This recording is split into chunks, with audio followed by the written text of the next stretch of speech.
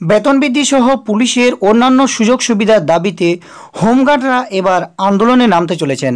হ্যাঁ বন্ধুরা, আপনি যদি সিভিক ভলেন্টিয়ার্স হয়ে থাকেন বা হোমগার্ড হয়ে থাকেন বা ভিলেজ পুলিশ ভলেন্টিয়ার্স বা এনভিএফ হয়ে থাকেন, তাহলে অবশ্যই ভিডিওটা স্কিপ না করে শেষ পর্যন্ত দেখবেন।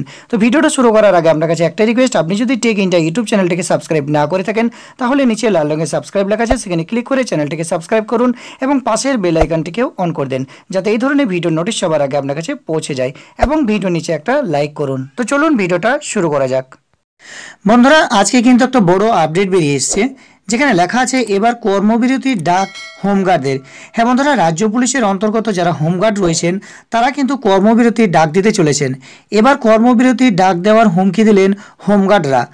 আজ রবিবার হাওড়ার মেডিকেল ক্লাবে অনুষ্ঠিত সভায় হোমগার্ড সংগঠনের পক্ষ থেকে কথা বলা হয়। তাদের অভিযোগ, পুলিশের কাজে সমানভাবে সাহায্য করছেন তারা।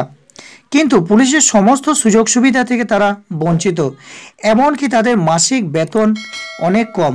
তাই আগামী তিরিশ দিনের মধ্যে সরকার যদি তাদের বেতন বৃদ্ধি সহ পুলিশের সুযোগ সুবিধা না দেয়, তাহলে তারাও আন্দোলনে নামবেন। তো বন্ধুরা, এখানে হোমগার্ড সংগঠনের পক্ষ থেকে পরিষ্কার বলা হয়েছে, তিরিশ দিনের মধ্যে যদি সরকার তাদের বেতন বৃদ্ধি সহ পুলিশের অন্যান্য সুযোগ সুবিধা না দেয়, তাহলে হোমগার্ডরাও কিন্তু এবার পথে নামছেন বেতন বৃদ্ধি সহ অন্যান্য সুযোগ সুবিধার জন্য। তো বন্ধুরা, যারা রাজ্য পুলিশের হোমগার্ড আছেন, সত্যিই তারা অনেক কাজ করেন। শুধু হোমগার্ড নয়, যারা ভিলেজ পুলিশ আছেন সিভিক ভলেন্টিয়ার আছেন, তারাও রাজ্য পুলিশে অনেক কাজ করেন, কিন্তু তাদের সবার বেতন কিন্তু অনেকটাই কম। অবশ্যই তাদের বেতন বাড়ানোর প্রয়োজন আছে।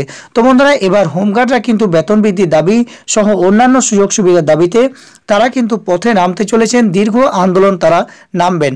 তো অবশ্যই কিন্তু তাদের বেতন বৃদ্ধির জন্য তারা সরকারকে ত্রিশ দিন টাইম দিয়েছেন। তো অবশ্যই দেখার বিষয় আছে, সরকার এই ত্রিশ দিনের মধ্যে তাদের কি বেতন বৃদ্ধি করবেন?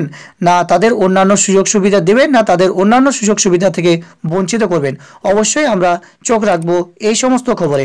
তো বন্ধুরা, আপনি যদি সিভিক ভলেন্টিয়ার হয়ে থাকেন বা ভিলেজ পুলিশ ভলেন্টিয়ার বা হোমগার্ড হয়ে থাকেন, অবশ্যই নিচে আপনারা, আপনাদের জেলার নাম কমেন্ট করে জানাবেন। কারণ আপনাদের জেলার যদি কোনো এই সমস্ত নিউজ পাওয়া যায়, অবশ্যই আপনি সবার প্রথম সেই নিউজ পেয়ে যাবেন। তো অবশ্যই নিচে কমেন্ট করে আপনার জেলার নাম কমেন্ট করবেন। আশা করি ভিডিওটা ভালো লাগবে। যদি ভিডিওটা ভালো লাগে, অবশ্যই ভিডিও নিচে একটা লাইক করবেন এবং ভিডিওটা বেশি বেশি করে সমস্ত সিভিক ভলেন্টিয়ার হোমগার্ড ও এনভিএফদের মধ্যে শেয়ার করবেন। ভালো থাকবেন, সুস্থ থাকবেন। দেখা হবে পরবর্তী ভিডিওতে।